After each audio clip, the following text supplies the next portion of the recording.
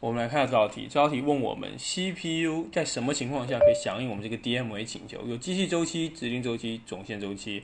指令周期我们知道分为四个部分：取址、键址、执行以及中断。每一个呢又是一个机器周期，对吧？那总线周期呢是指总线一次操作所需要的时间叫总线周期。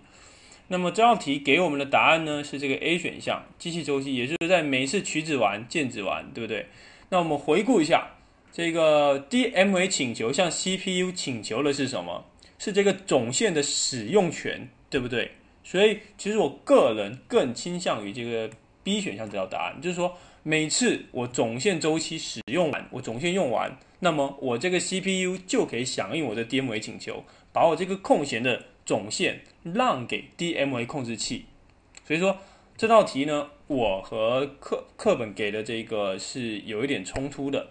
那大家也欢迎大家在这道题下面，就是说踊跃的讨论。